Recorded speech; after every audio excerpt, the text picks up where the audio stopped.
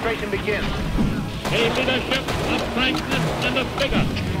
Nameless, unreasoning, unjustified terror, which is essential to victory. of the empire